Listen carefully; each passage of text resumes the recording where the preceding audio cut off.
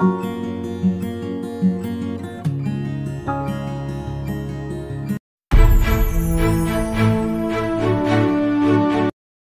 topic of today's discussion is A Dance of the Forest, a play by Wole Soyinka. It was a controversial play in Soyinka's native Nigeria at the time it premiered.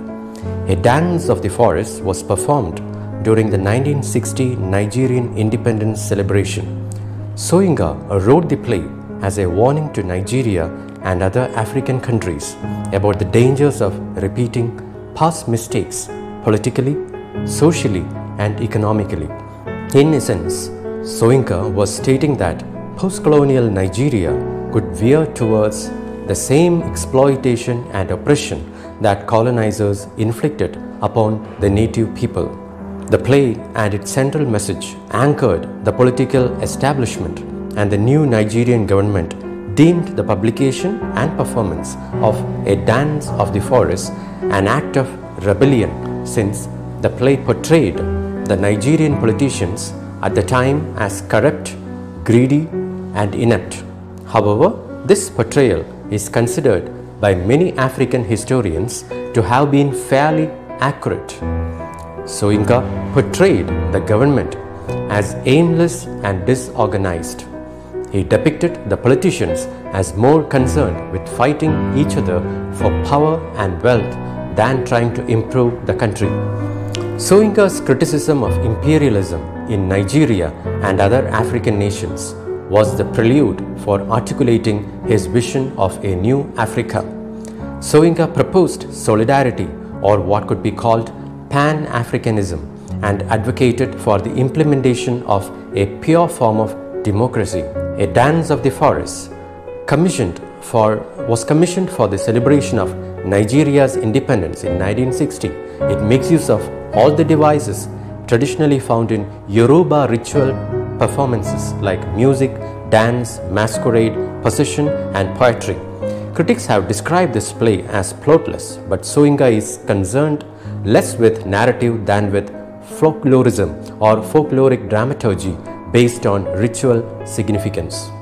The play A Dance of the Forest by Wole Soyinka begins with a short prologue spoken by the god Aroni, the lame one, which establishes the connection between the two sets of characters placed in two different time frames of the play. The first time frame is the present, during the feast of the human community, and the second, the past, during the reign of Mata Kharibu. At the beginning of the play, God Aroni, the lame one, lays before us the circumstances of the play. Wole Soyinka lists out the characters before us.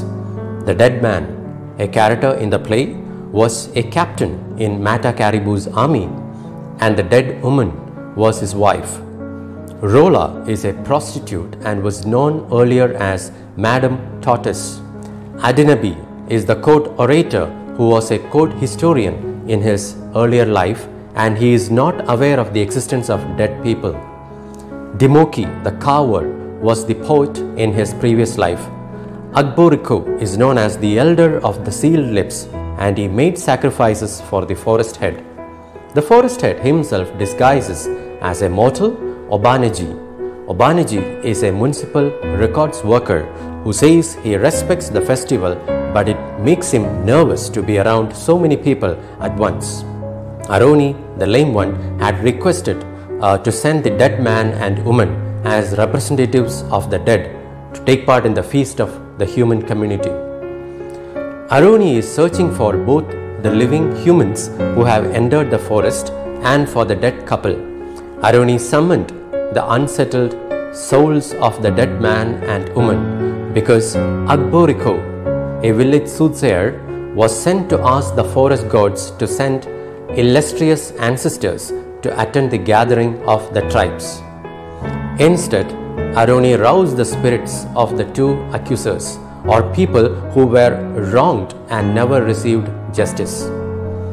Unknown to them, the reincarnated spirits of those who had wronged the dead man and woman were lured into the forest. Aroni arranged this so that the spirits of the dead couple could finally find peace and the current reincarnations could rectify their past sins. In the opening of the play, a dead man and a dead woman gets up from their, uh, from their graves. The dead man wears a warrior's clothing and he is described as fat and bloated. The dead woman is pregnant. They could not see each other and looks for someone from the earth to greet and welcome them. Then Adenebi enters but runs away scared. Obaneji enters but retreats as well. When Demoke enters the scene, he also retreats when the dead woman asks for help. Rola also comes to the scene, but she also refuses to help the dead man.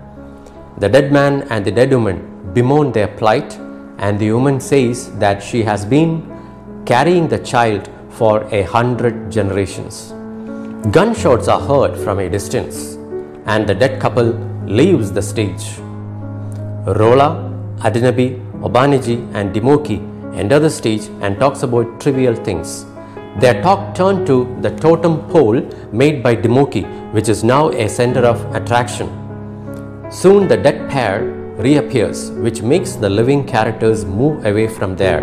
In the next section, we are introduced to an imp, Murete, which lives inside a tree and spy on the people passing nearby.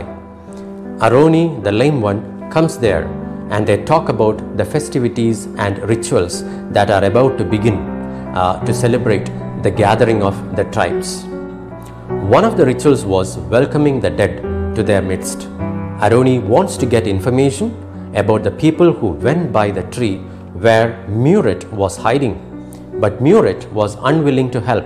Ogun, the god of uh, Cowers, hopes that Murete will tell him where to find the living villagers because Ogun wants to protect Demoke from Eshuoro, a wayward spirit of the forest.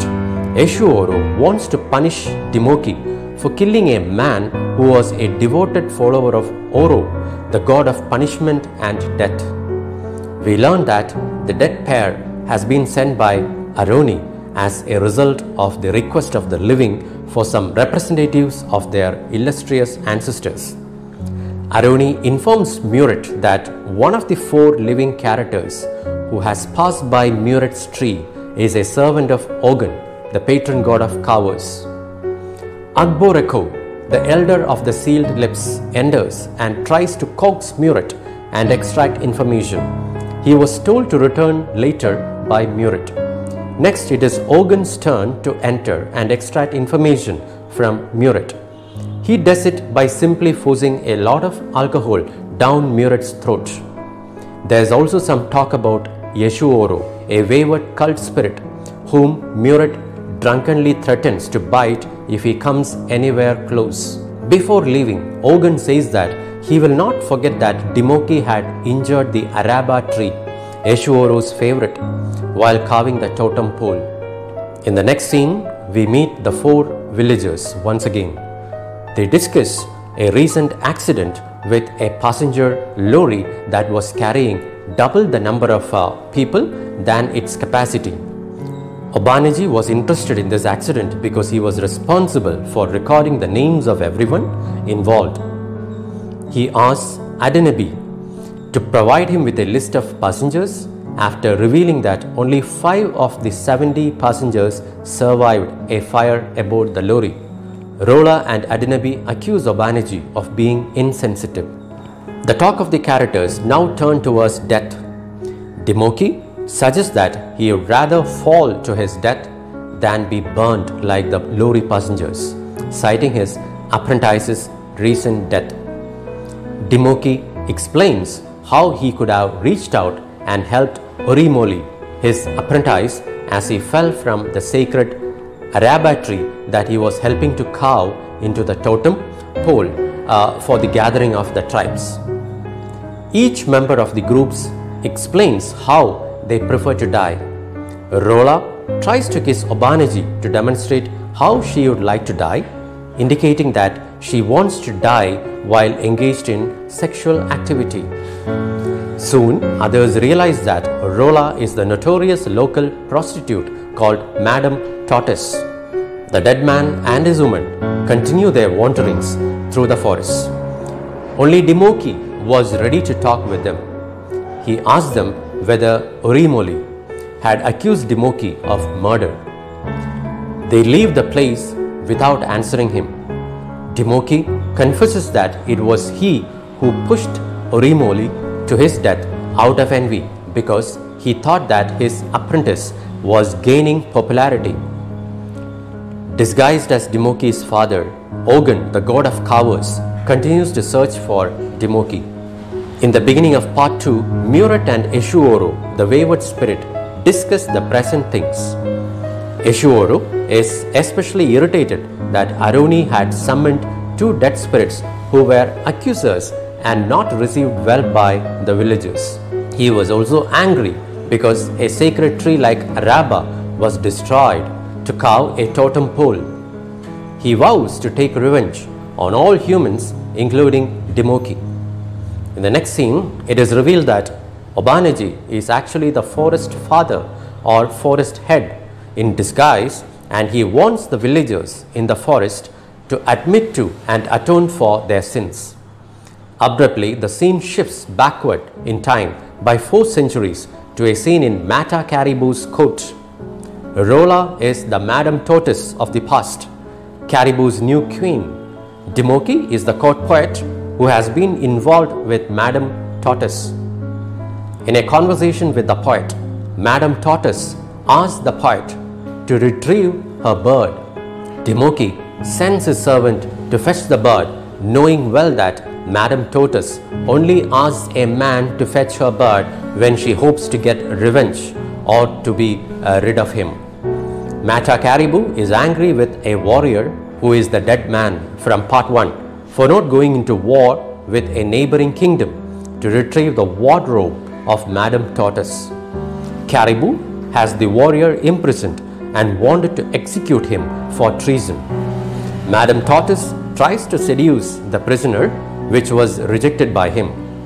As a revenge, Madame Tortoise has the warrior's pregnant wife, the dead woman uh, from part 1, killed in front of him. At the same time, the servant of Demoke falls from the roof of the palace trying to get Madame Tortoise's bird, revealing that the reincarnated souls are continuing their sins from their past lives. In the last scene, gods also become involved. Eshuoro remarks that the dead warrior was foolish and he and Ogun quarrel about Demoke. Soon the dead woman appears before the forester and begs to have her unborn child removed from her sleeping womb. After the dead couple are welcomed, the dance of welcome is performed by the spirits of the forest, represented by Demoke, Rola, and Adenebi, wearing masks, who, while momentarily entranced, chorus the future. The dead pair listen in suspense to see whether the future will be more auspicious than the past or present. The forest head orders Aroni to relieve the dead woman of her burden, the half child, in her belly, and let the tongue of the unborn, stilled for generations, be loosened. After the half child is removed, Eshuoro, Ogun, and Demoke be, uh, uh, become involved in a scuffle to get hold of the, uh, the child. At this point, Demoke comes forward and, in the dance of the half child, tries to rescue the half child from the fate of being continually born dead. The significance of Demoke's intervention is not that it liberates the half child, but that he has taken the first tangible step toward his own redemption. In the dumb show at the end of the play, the dance of the unwilling sacrifice, Demoke's totem is silhouetted as the people dance around it. Eshuoro finally uh, consummates his involvement by forcing Demoke to climb the Araba tree with a basket over his head, a burden representing the blindness of his guilt. Eshuoro then sets fire to Demoke's tree of transition, from which he falls into the arms of Ogun, the patron god of cowards. Thus, Demoke's rebirth is symbolized not with words but with dance and music. The impulse toward transcendence originates not from the forest dwellers but from within each mortal, from their inner gods that the forest personifies. The play ends with the revelation of everyone's past identities. The villagers are astonished to learn the truth about their past identities. Foresthead and Aroni speak about the nature of the past and present as the play ends. A Dance of the Forest presents a complex interplay between gods, mortals, and the dead, in which the ideal goal is the experience of self discovery within the context of West African spiritualism. Although offered to a nation to celebrate its independence, the irony of A Dance of the Forest is that the victim of its satire is Nigeria itself. Completely devoid of nostalgia, Soyinka boldly de-romanticizes his characters by focusing on delusion, death and betrayal. The great gathering of the tribes corresponds to the birth of a nation, but the heady excitement of the present, bolstered by a glorious heritage, is satirically complemented by a glimpse of the disquieting truths of the human condition accumulated throughout the ages. Soyinka's characters are forced to confront the grim realities lurking behind their dreams. The dead man and the woman were selected by god Aroni because in a previous life they had been violently abused by four of the living. The four mortals are Rola, an incorrigible Ho nicknamed Madame Tortoise, who was then a queen, Demoke, now a coward and then a poet, Adenebi, now council orator and then court historian, and Agboreko, elder of seal lips, a soothsayer in both existences. They have been selected because of past debauchery, which Aroni hopes can be expiated through revelation. The ceremony for the self discovery of the four mortals consists of three parts in this play. First, the reliving of the ancient prototype of their present crimes. Second, the questioning of the dead couple. And third, the welcoming dance for the dead couple. A dance of the forest uses Africa's past to cast blame on the present and future.